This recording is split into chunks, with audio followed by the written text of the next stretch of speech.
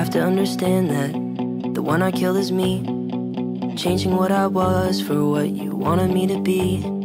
I followed your direction, did everything you asked. I hope it makes you happy, cause there's just no turning back.